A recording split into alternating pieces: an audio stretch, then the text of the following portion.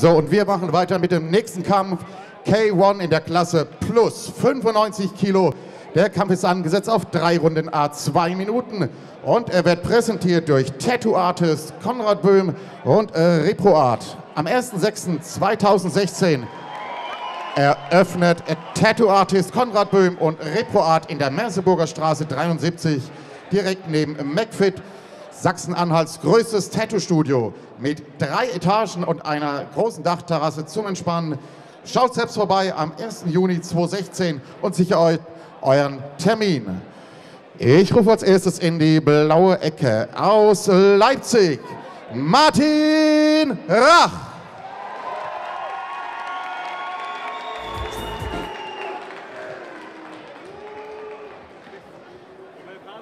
Na, wer wird denn hier buhen? Sein Gegner rufe ich in die rote Ecke vom La Familia Fight Club hier in Halle. Christian Albi Albrecht!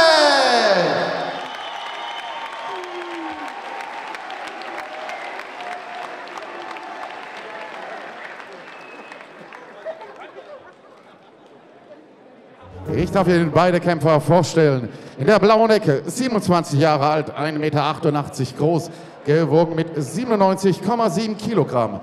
Er wird betreut durch Tobias Badura. Bisher ein Kampf, ein Sieg. Von der Sportschule Badura in Leipzig, Martin Rach.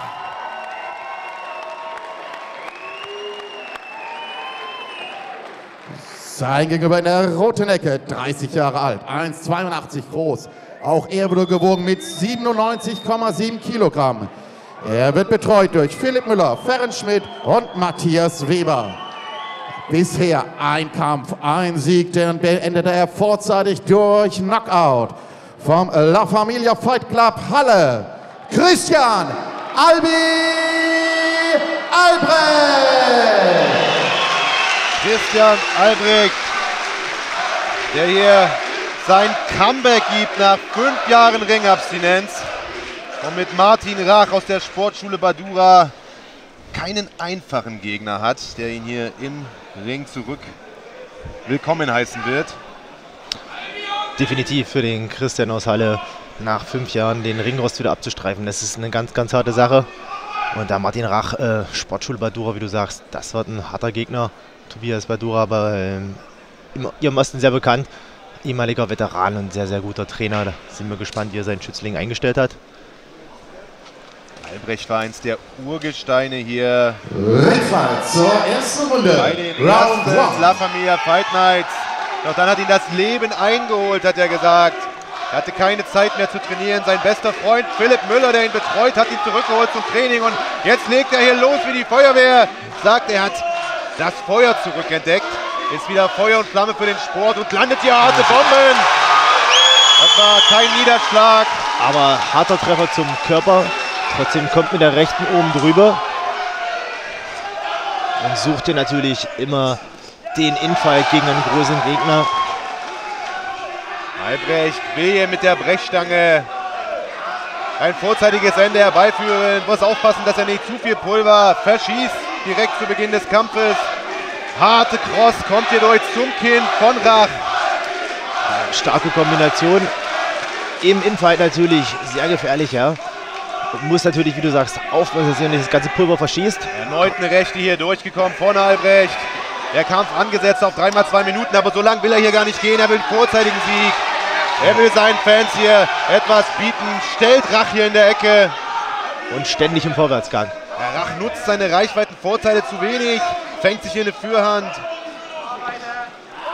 Und eine Rechte hinterher. Ja, der Lukik schön geblockt. Jetzt hier der Lukik festgehalten mit der rechten gekontert. Er ist natürlich stark im Training einstudiert. Aber Rach lässt sich hier nichts gefallen, schlägt zurück. Landet jetzt selbst auch Treffer, aber Albrecht kennt weiterhin nur den Vorwärtsgang. Versucht immer wieder mit der rechten oben drüber zu kommen gegen den großen Gegner. Da muss der Leipziger aufpassen, dass er die linke Hand am Kopf behält, wenn das Ding reinkracht. Ja, Rachs Deckung definitiv zu tief. Ein Kampf, ein Sieg bisher in seiner Bilanz. Landet jetzt lange Hände So muss er weitermachen hier, der Leipziger. Findet hier wieder die Distanz, ja. Und da muss der Hallenser aufpassen, dass er die Distanz schnell überbrückt. Da ist die erste Runde vorüber.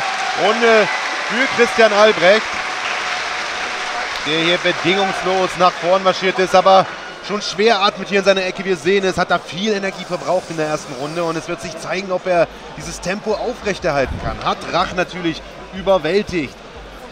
Aber ja, kann er das auch in der zweiten und dritten Runde schaffen? Ist eine Lokomotive hier nach vorne gegangen und wir schauen, ob die Lokomotive, äh, wie lange der Dampf fährt bei der Lokomotive. Ja? Wenn er natürlich den Druck aufrechterhalten kann, kann er den Kampf hier eindeutig für sich entscheiden. Und in der Gewichtsklasse ist natürlich auch jeder Schlag entscheidend. Da kann ein Ding alles entscheiden. Ja, insbesondere bei einem wie Christian Albrecht. Auch er hat bisher einen Kampf bestritten, diesen gewonnen und diesen durch K.O. auch gewonnen. Musste bislang noch nicht über die Zeit gehen. Und atmet hier wirklich sehr, sehr schwer in seiner Ecke. Rach sieht dagegen noch sehr, sehr frisch aus. Kann es kaum erwarten, dass die zweite Runde beginnt. Deswegen wird Albrecht hier natürlich den K.O. suchen zu Anfang. Wir freuen uns auf einen spannenden Kampf. Ja, starker Low-Kick. Mit, der Führhand und der rechten abgeschlossen. Hier beide mit dem Low-Kick. Beide tauschen hier. Harte Hände aus und da landet ein rechter Haken von Albrecht, aber er kassiert selber ein paar Hände. Rach lässt sich hier nichts gefallen. Und im harten Schlagabtausch. Versucht hier einen Push-Kick der Leipziger. So langsam trifft Rach hier immer mehr, nutzt seine Distanz besser. Albrecht tut das einzig richtige, clincht hier. Ja, ganz clever gelöst, ja. Mit dem Schlagabtausch in die Luft weg ist, kurz anklinchen. Oh, Doch hier geht's weiter. Da wackelt Albrecht und Rach kann den Kampf hier beenden. Bewegt sich zurück, das kann ich nicht ganz verstehen. Sollte weiter mit langen Händen punkten. Trifft hier immer wieder die Deckung offen des Hallensers. Kommt jetzt immer besser den Kampf der Leipziger. Martin Rach hier mit klaren Treffer, ja. Das sieht sehr gut aus, wenn wir hier aus der Ecke des Leipzigers Martin Rach. Und das sieht in der Tat sehr gut für ihn aus, wenn er jetzt hier weitermachen kann, weiter harte Hände landen kann. Schöne Treffer zum Körper. Aber der Hallenser bleibt brandgefährlich. Da kann jederzeit die rechte oben drüber kommen. Ist gefährlich, aber ist offen und atmet schwer. Ja, aber da ist die rechte oben drüber. Nicht genug Power, um Schaden anzurichten, aber um Punkte zu machen. Jetzt ist das Kampfgeschehen natürlich etwas verlangsamt nach dieser Anfangsrunde, nach diesem Anfangssprint. Oh, wieder harte Treffer hier von Rach sollte das Comeback von Christian Albrecht hier nach fünf Jahren ein vorzeitiges und ein bitteres Ende nehmen. Wieder eine harte Rechte von Rach, die trifft. Und da wackelt der Hallenser, aber er bleibt im Kampf. Zeigt ja Kämpferherz. Keine Ambition umzufallen. Vor heimischem Publikum. Ja, die Halle tobt hier, feuert ihren Lokalmatador natürlich an, aber Albrecht bewegt sich zurück. Ja, Leipziger hier landet hier aber eine harte Linke. Unglaublich. Das war eine straffe Linke und wird hier angezählt, der Leipziger. Das könnte natürlich... Scheint hier unzufrieden damit zu sein, angezählt zu werden, aber war ein klarer Wirkungstreffer. Ja, die Linke war lang, er ist in die Linke lang gelaufen. Wichtig natürlich auch für Albrecht, der jetzt Zeit hat, sich in seiner Ecke da, in der neutralen Ecke ein wenig zu erholen. Mit jetzt dem Ansehen natürlich spannend, ja, wie jetzt zu werten ist. Die erste Runde würde ich für Albrecht werten. Die zweite Runde durch das Ansehen, ganz klar. Tobi Badura gibt seinem Schützling Martin Rach jetzt hier in der Rundenpause den Tipp, Overhands zu schlagen, denn damit ist er immer wieder durchgekommen, der Leipziger.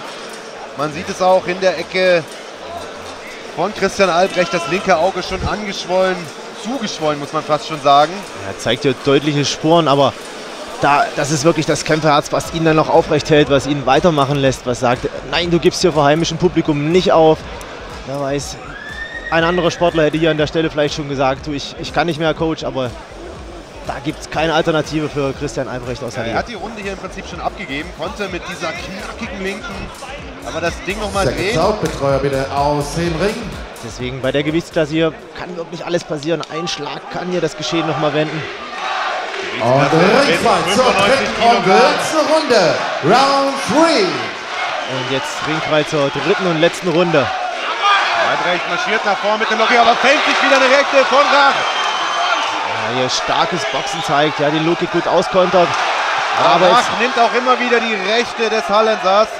Genau, Beide ja. Kämpfer stecken harte Treffer ein. Der Rach, der jetzt wieder die Distanz findet, jetzt auf Distanz kämpft, das ist natürlich das, was er muss, machen muss als größerer Mann. Aber Albrecht denkt ja nicht ans Aufgeben und hält dagegen. Immer wieder der Versuch, die rechte oben drüber zu bringen. Knie von Rach trifft zum Körper von Albrecht. Das kostet noch mehr Luft. Definitiv findet ja die Distanz auch mit dem Knie. Das ist natürlich gefährlich, wenn der größere Mann mit dem Knie einschlägt, hier auch mit dem Low-Kicks durchkommt. Lange Führhand von Albrecht, kommt durch zum Kopf von Rach. Auch Rach wird nun langsamer, schlägt weniger, aber trifft immer wieder. Beide atmen hier ganz, ganz schwer. Albrecht hier nochmal mit einem Low-Kick hinterher. Starkes Kämpferherz, der hier wirklich nicht aufgibt. Beide Kämpfer geben mir nochmal alles. Was für einen Eisenschädel dieser Christian Albrecht haben muss. Wieder eine Führhand von Rach, die trifft. Und Albrecht, der ja auch nach Treffer nicht zurücksteckt, sondern weitermacht und deswegen immer gefährlich bleibt, auch wenn Rach hier jetzt im Vorwärtsgang ist. Absolute Materialschlacht hier zwischen diesen beiden Kämpfern.